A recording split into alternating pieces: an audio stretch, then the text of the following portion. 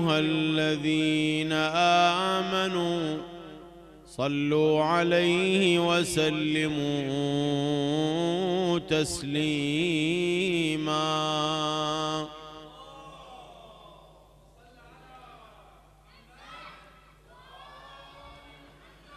بلغ العلا بكماله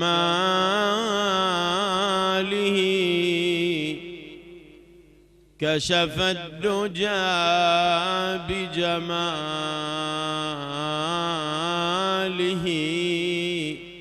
حسنت جميع خصاله.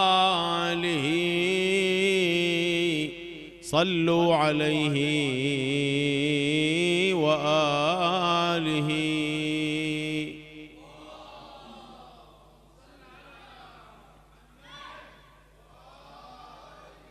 بآل محمد عرف الصواب وفي أبياتهم نزل الكتاب وهم حجج الإله على البرايا وهم حجج الإله على البرايا بهم وبجدهم لا يستراب.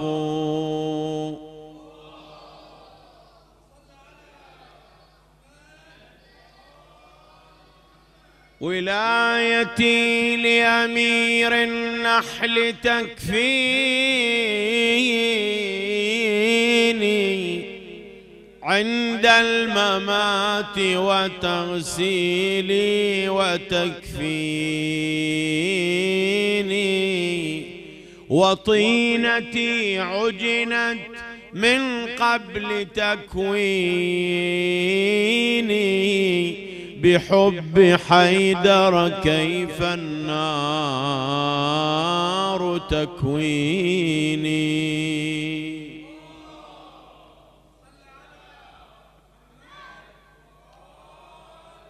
إن تميزهما بلفظ من اسمي لا تميزهما بحلم وعلم فهما واحد كروح بجسمي. إنما المصطفى مدينة علم وهو الباب من أتاه أتاها.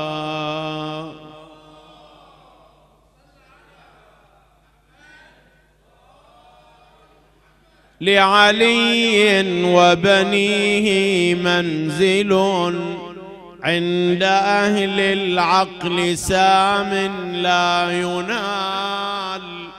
خصه الرحمن من ألطافه بصفات هي ينبوع الكمال فهو نفس المصطفى دون الورى وهو صهر ووصي وهو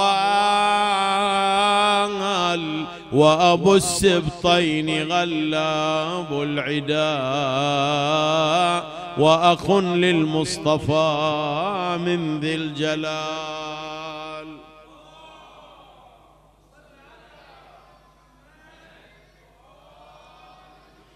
إذا شئت النجاة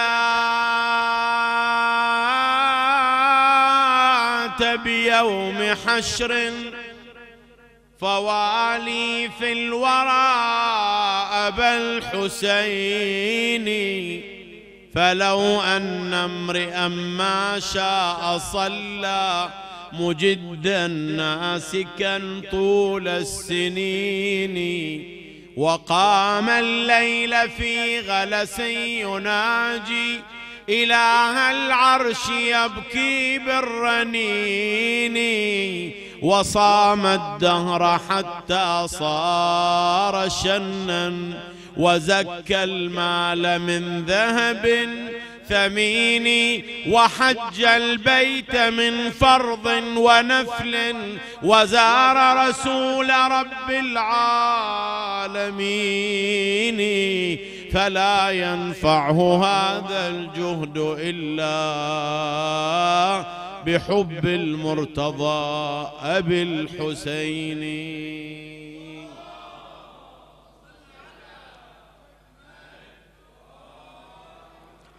أنت العلي الذي فوق العلا رفع. ببطن مكة وسط البيت إذ وضع. وأنت ذاك البطين الممتلي حكما. معشارها فلك الأفلاك ما وسعا.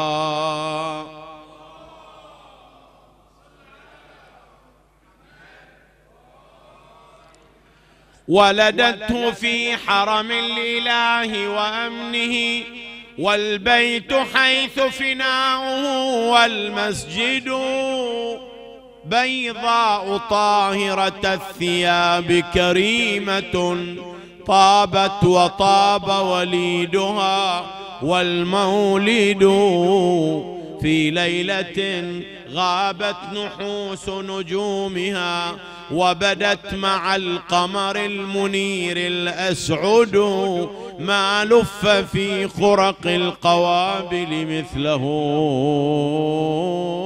إلا ابن آمنة النبي محمد.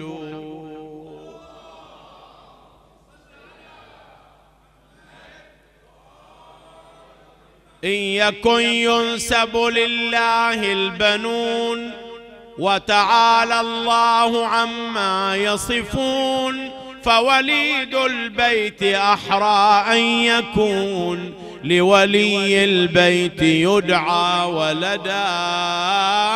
لا عزير لا ولا ابن مريم.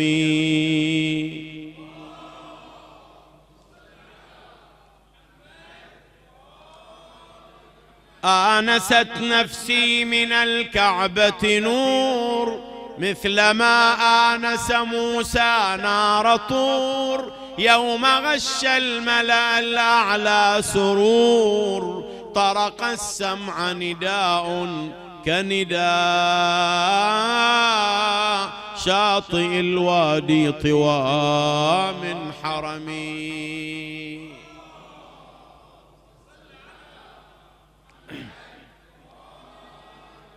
سيد فاق علا كل الأنام. كان إذ لا كائن وهو إمام. شرف الله به البيت الحرام. حين أضحى لعلاه مولدا.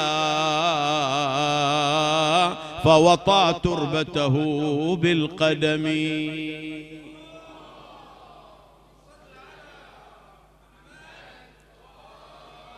هو بعد المصطفى خير الورى.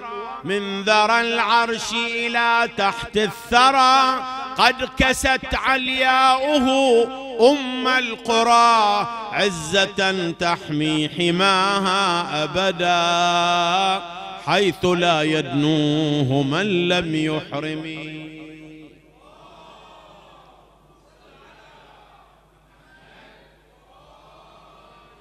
أسعد الله أيامكم ولياليكم وأعادكم على أمثال هذه الليالي في خير وعافية ونصر مؤزر معجل يا ناصر المستضعفين.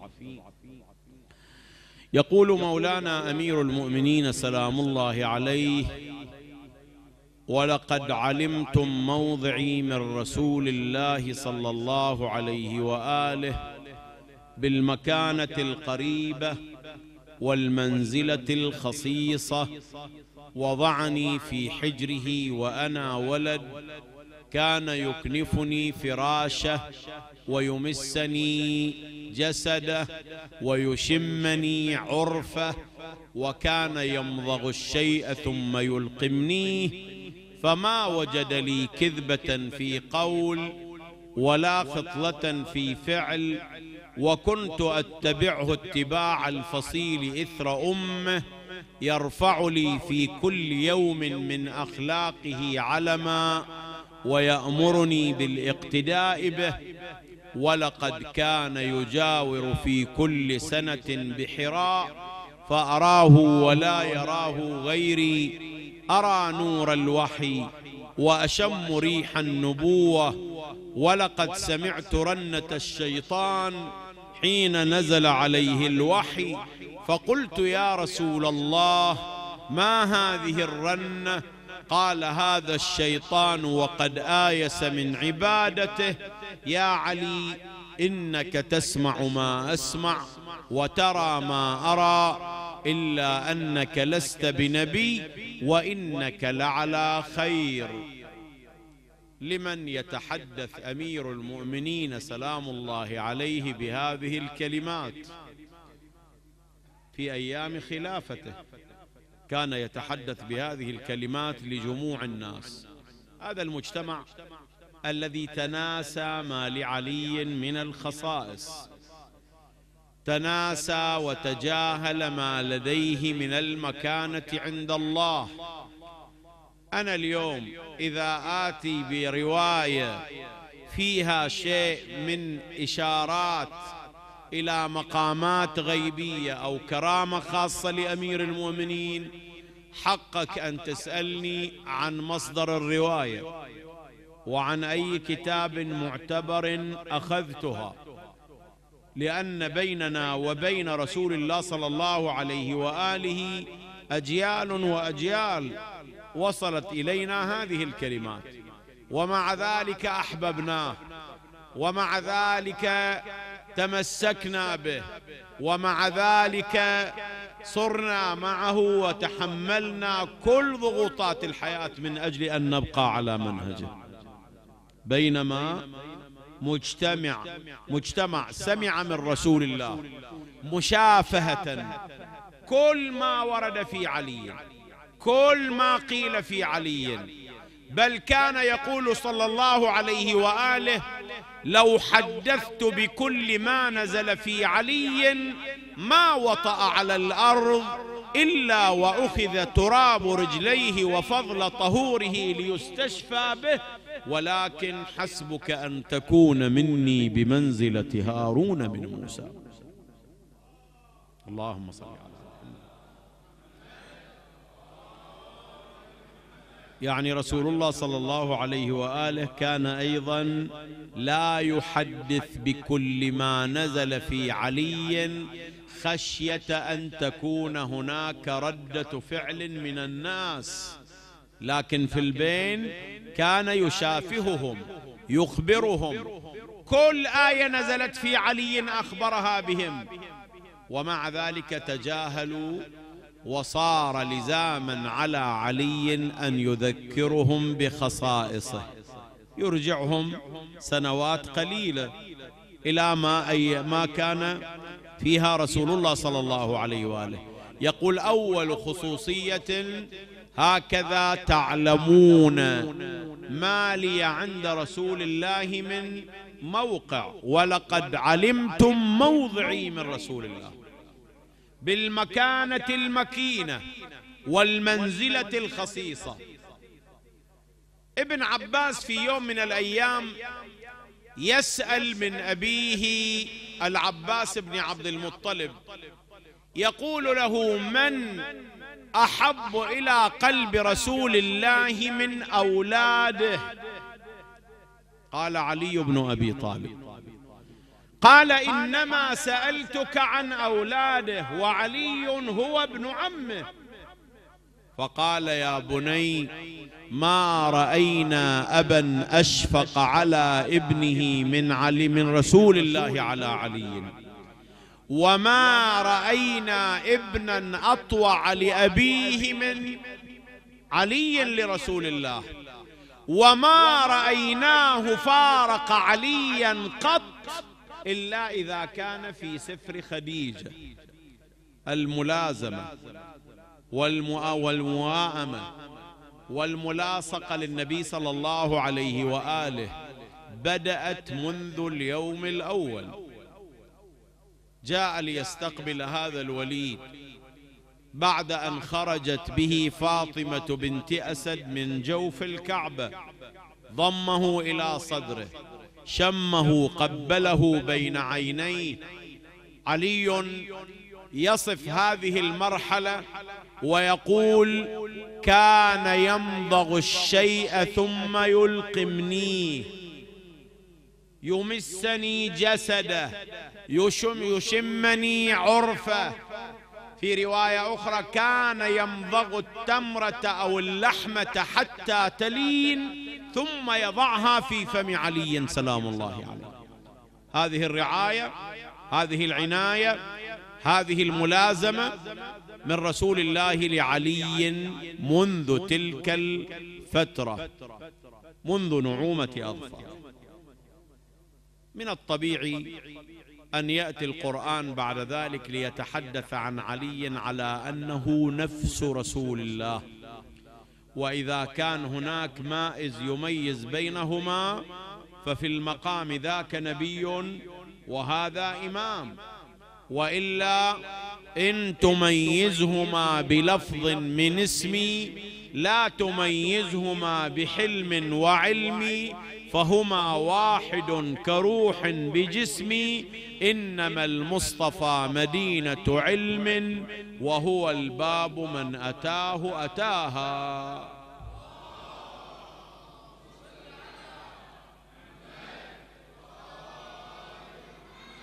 فعلي هو صنيعة رسول الله صلى الله عليه وآله.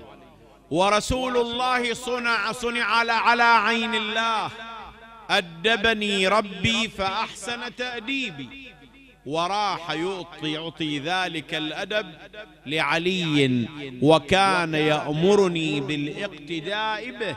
فما وجد لي خصله في فعل ولا كذبة في قول. وكنت أتبعه اتباع الفصيل إثر أمه يرفع لي في كل يوم من أخلاقه علما ويأمرني بالاقتداء. بعد نجي على الإعداد الروحي.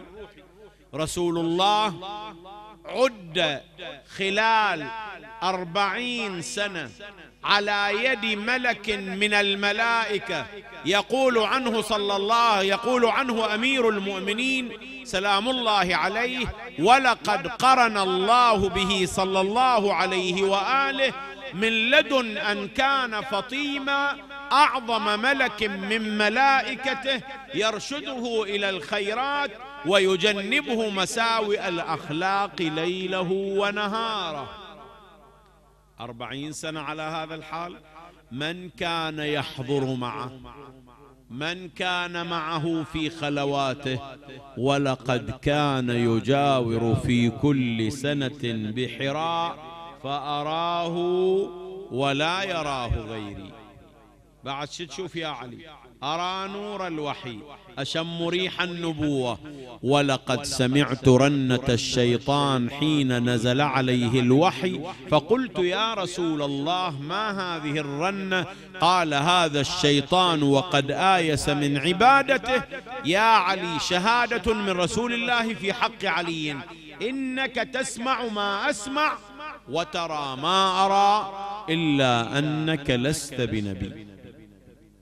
فبطبيعة الحال. بعد هذا الإعداد لا يؤهل لأن يكون الظهر الذي يعتمد عليه والعز الذي يستند إليه سوى علي سلام الله عليه. وبالفعل أول يوم يعلن بل ويؤمر بأن يبلغ عشيرته يقول يا علي اصنع لنا وليمة. صنع الوليمة. خطب في أبناء بني عبد المطلب وبني هاشم.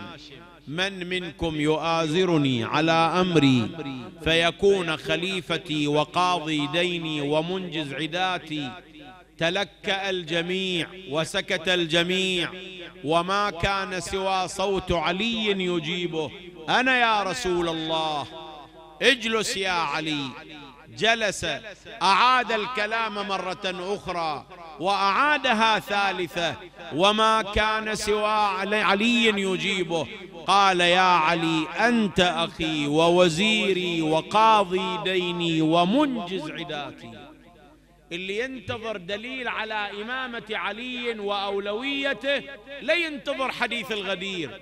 حديث الغدير جاء في السنة الأخيرة. في السنة العاشرة دليل متأخر من يبحث عن مكان علي وقيمة علي ليقرأ حديث المنزل ليقرأ حديث الدار ليقرأ الحديث الذي يتلو كرامة الطير المشوي وغيرها من الروايات. اللي من أول يوم في مكة أعلن من هو الخليفة ومن هو الوصي ومن هو الوارث ومن هو قاضي الدين حتى خرج أبو لهب ومن, ومن معه وهم يهزؤون ويسخرون بأبي طالب ليهنأك الأمر فقد جعل عليك ابنك وصيا ووزيرا. لاحظوا هذا في اليوم الأول من أيام الدعوة. أنا رايح أختصر الكلام في آخر يوم من أيامه فك في مكة أيضا. ختامها مسك كرامة من الله. يا علي أو تبات على فراشي؟ قال أو تسلم يا رسول الله؟ قال نعم إن شاء الله. قال إذا لا أبالي. فبات على فراش رسول الله فاديا له بنفسه.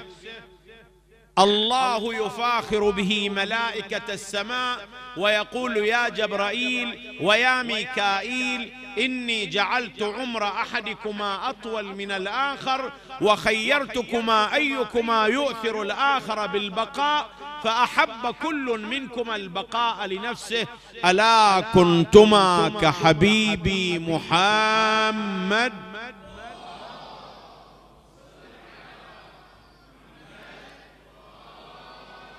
آخيت بينه وبين ابن عمه فبات على فراشه فاديا له بنفسه اهبطا إلى الأرض واحرسا. يأتي جبرائيل بوسام ومن يش ومن الناس من يشري نفسه ابتغاء مرضات الله. والله رؤوف بالعباد.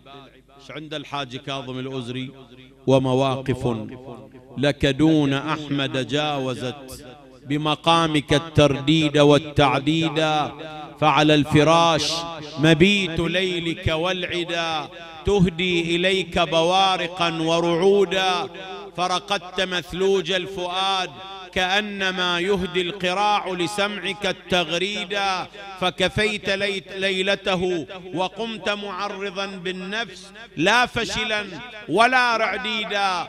رصدوا الصباح لينفقوا كنز الهدى أو ما دروا كنز الهدى مرصودا.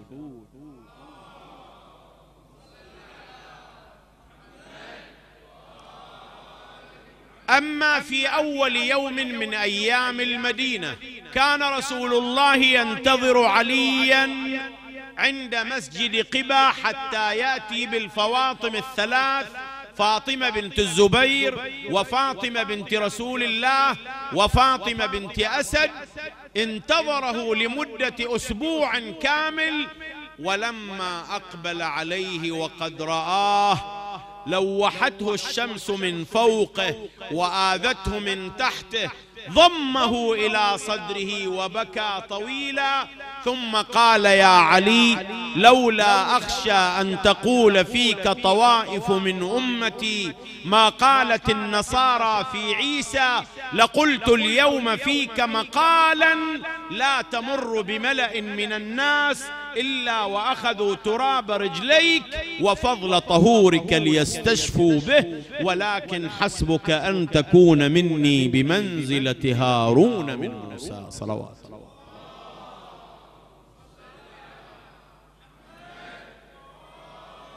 ثلاثة عشر سنة كانت تلك مرحلة الدعوة.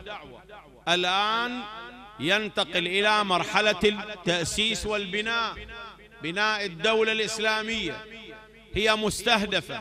معارك ثلاثة وثمانين معركة بين غزوة وبين سرية خلال عشر سنوات. من كان لحل من الناس له الحظ الأوفر؟ في يوم بدر نصف قتلى يوم بدر بسيف علي. ونصفهم الآخر بسيوف الملائكة. وقبل ذلك وفي ليلة بدر أرخ السيد الحميري كرامة لعلي. أقسم بالله وآلائه. والمرء عما قال مسؤول أن علي بن أبي طالب على الهدى والحق مجبول. وأنه ذاك الإمام الذي له على الأمة تفضيل يقول بالحق ويقضي به وليس تلهيه الأباطيل. ذاك الذي سلم في ليلة عليه ميكال وجبريل. ميكال في ألف جبريل في ألف ويتلوهم إسرافيل ليلة بدر مددا أنزلوا كأنهم طير أبابيل.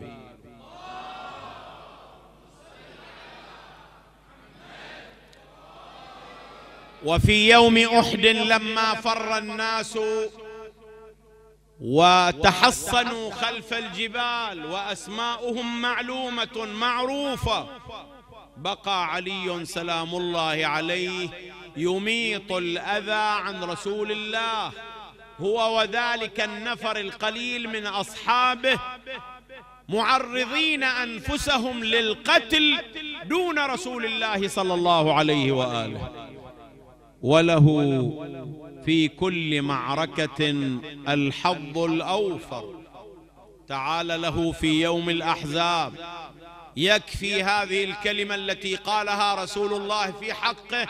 ضربة علي لعمر تعادل عمل الثقلين إلى يوم القيامة.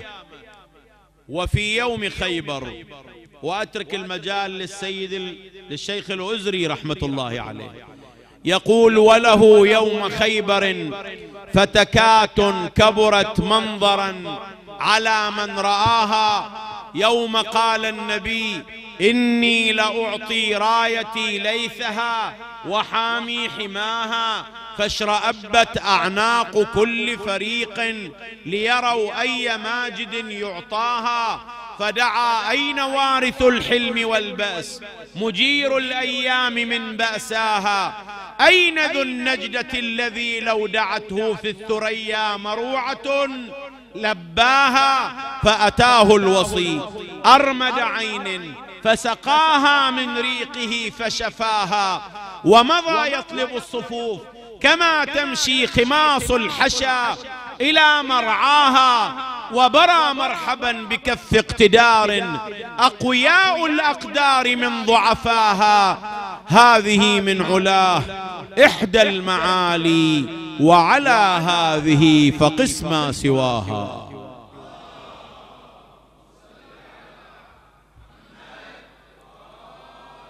لو تحدثنا في حق علي لن نوفي من حقه قليلا أو كثير يكفي رسول الله يقول لو حدثت بكل ما نزل في علي ما وطى على الأرض إلا وأخذ تراب رجليه وفضل طهوره. أما شاعرنا شي يقول قيل لي قل في علي مدحا ذكرها يخمد نارا موصدا قلت لا أجرؤ في مدح أمر حار ذو اللب إلى أن عبده والنبي المصطفى قال لنا ليلة المعراج لما صعد. وضع الله على ظهري يدا. فأحس القلب أن قد برده وعلي واضع أقدامه في مكان وضع الله يداه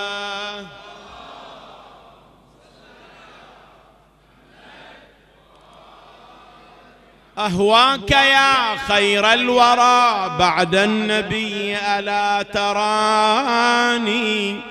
كم في هواك معذب أنا يا علي وكم أعاني لي في هواك شواهد كثر أيكفي شاهداني.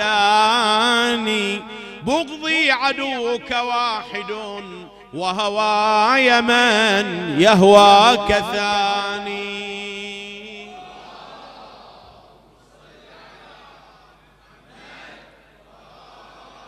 غذيت حبك يافعا وأبي وأمي غذياني وعلى ولائك ناشئا فهما اللذان ربياني كم غزوة لك خذتها وكتبت نصرك بالسنان منها النظير وخيبر وبها استقال الصاحبان رجعا بخيبة عاجزين والخوف من وصف الجبان.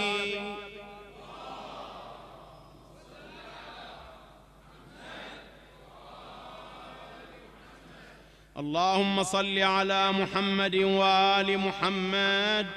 اللهم صل على محمد وآل محمد.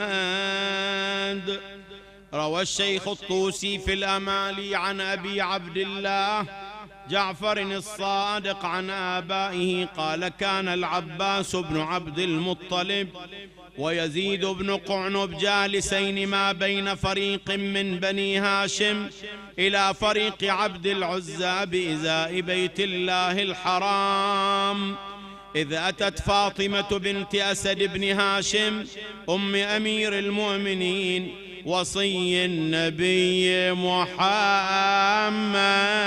صلى وكانت حاملة بأمير المؤمنين لتسعة أشهر وكان يوم التمام.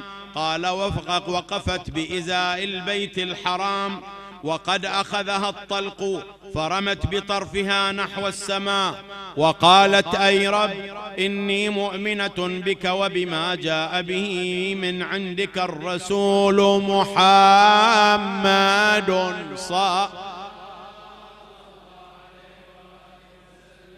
وبكل نبي من أنبيائك وبكل كتاب أنزلته وإني مصدقة بكلام جدي إبراهيم الخليل. وأنه بنى البيت العتيق فأسألك بحق هذا البيت ومن بناه وبهذا المولود الذي في أحشائي الذي يكلمني ويؤنسني بحديثه. وأنا موقنة أنه إحدى آياتك ودلائلك إلا ما يسرت علي ولادتي. قال العباس بن عبد المطلب ويزيد بن قعنب فلما تكلمت فاطمة ودعت بهذا الدعاء رأينا البيت قد انفتح من ظهره ودخلت فاطمة فيه وغابت عن أبصارنا. ثم عادت الفتحة والتصقت بإذن الله. فرم فرمنا أن نفتح الباب ليصل إليها بعض نسائنا. فلم ينفتح الباب. فعلمنا أن ذلك أمر من أمر الله تعالى. ولما دخلت فاطمة في جوف الكعبة وهي في تلك الحالة جلست فوق الرخامة الحمراء. وإذا هي بأربع نسوة يدخلن عليها أما الأولى فأمنا حواء وأما الثانية فمريم بنت عمران. وأما الثالثه فاسية بنت مزاحم وأما الرابعة فهي أم نبي الله موسى وذلك ليلين منها ما تلي النساء من النساء عند الولادة وكانت عليهن ثياب كهيئة الحرير الأبيض ورائحتهن أطيب من المسك الأذفار وبينما هي كذلك وإذا بها قد ولدت بأمير المؤمنين أفضل الصلاة.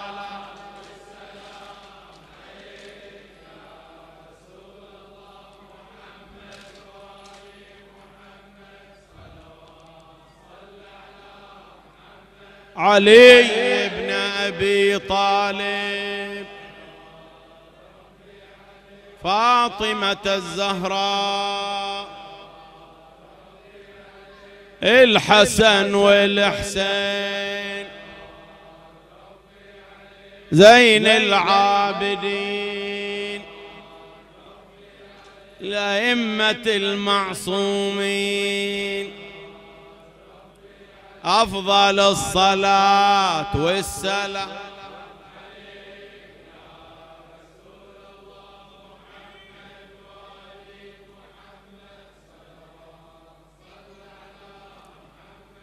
ال...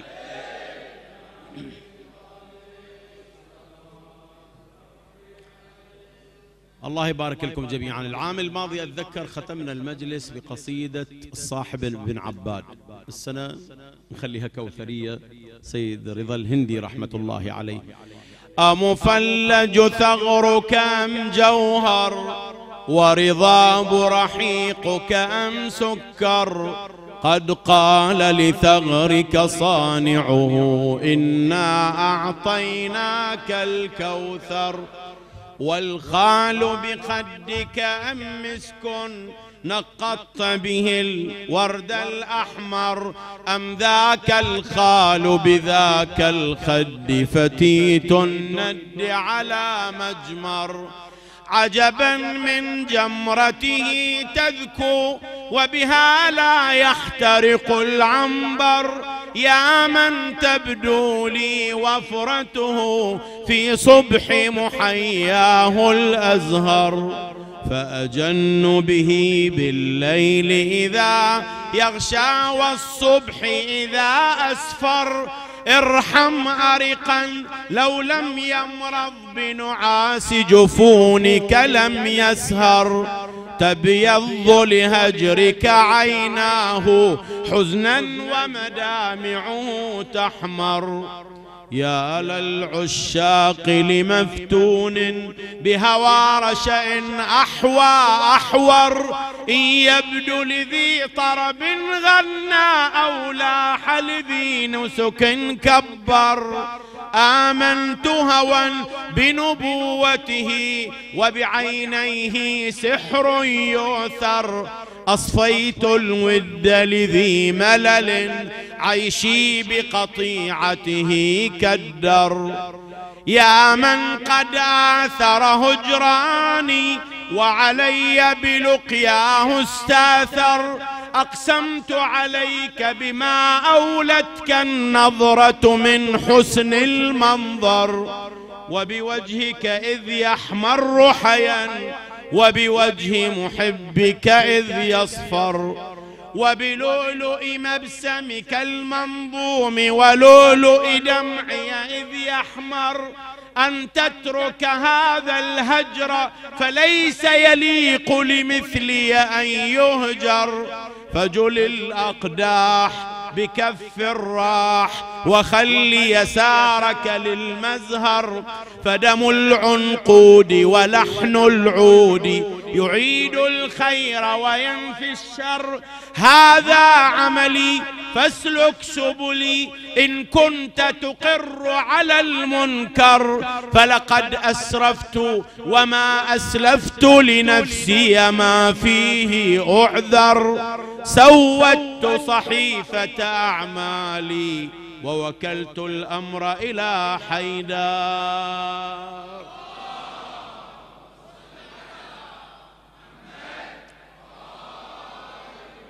هو كهفي مني وبالدنيا وشفيعي في يوم المحشر. هل يمنعني وهو الساقي أن أشرب من حوض الكوثر؟ أم يطردني عن مائدة وضعت للقانع والمعتر؟ يا من قد أنكر من آيات أبي حسن ما لا ينكر. إن كنت لجهلك بالأيام جحدت مقام أبي شبر فاسأل بدرا واسأل احدا وسل الأحزاب وسل خيبر. من هد حصون الشرك ومن شاد الإسلام ومن عمر من قدمه طه وعلى أهل الإيمان له أمر. قاسوك أبا حسن بسواك وهل بالطود يقاس الدر أنا ساووك بمن ناووك وهل ساووا نعلي قنبر من غيرك يدعى للحرب وللمحراب وللمنبر.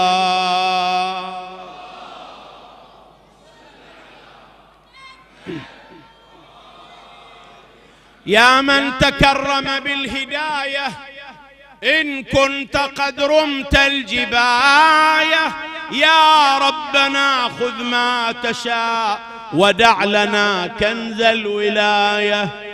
فهي السبيل إلى النجاة إلى الصلاح إلى الهداية. إذ ليس تنفعنا جبال التبر في ظلم الغواية كلا ولا جسم كجسم الفيل. ما الأجسام غاية؟ فإذا أردت تكرما فارفع إلى الإسلام راية. فإذا أردت تكرما فارفع إلى البحرين راية. أموالنا أولادنا أرواحنا تبقى وقاية. أفضل الصلاة.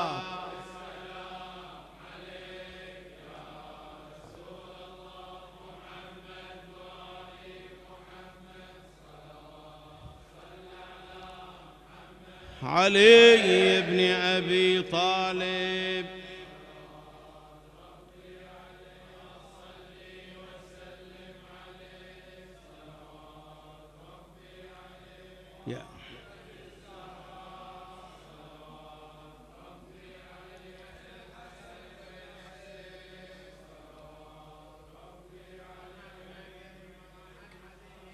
الله يعدكم جميعا إن شاء الله. إخواني الجمع للمقبرة وما تقدموا لأنفسكم من خير تجدوه عند الله.